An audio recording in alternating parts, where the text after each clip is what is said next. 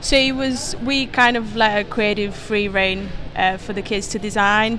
Um, the only really like guideline we had it was that the van was red.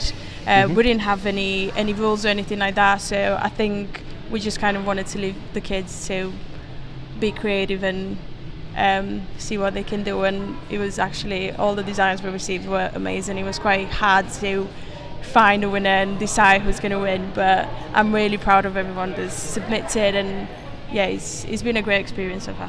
What do you think of the final design? Do you, do, is, do you like it?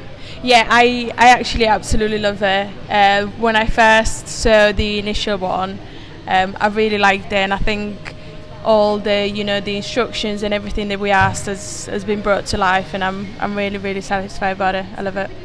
Um, I think it just portrays you know like the youth and what the what the kids like. I mean, it's got the rainbows, it's got the little girl that's smiling, really positive, the peace sign. So I yeah. think it's just kind of like a perfect uh, type of design to just portray a kid.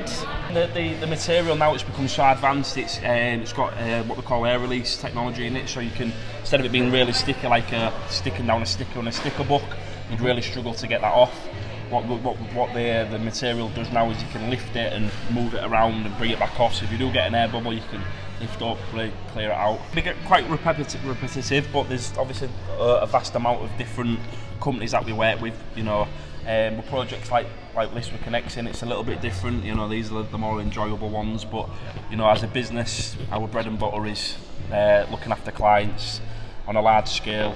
You know, like brand guidelines, and they all need to look exactly the same. So that's the biggest challenge for us, making sure our customers get what they want.